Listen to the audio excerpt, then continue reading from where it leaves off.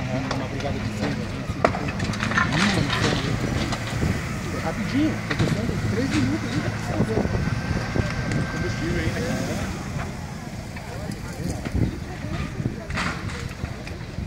Foi com o certeza.